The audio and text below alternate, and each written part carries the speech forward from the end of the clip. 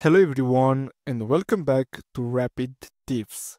In this video, I'm going to explain you how to fix your Turtle Beach headset transmitter not working.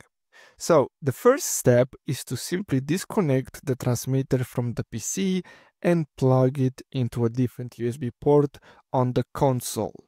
Then power on the headset then you're gonna have to wait one minute and allow the headset and transmitter to repair after the recovery process.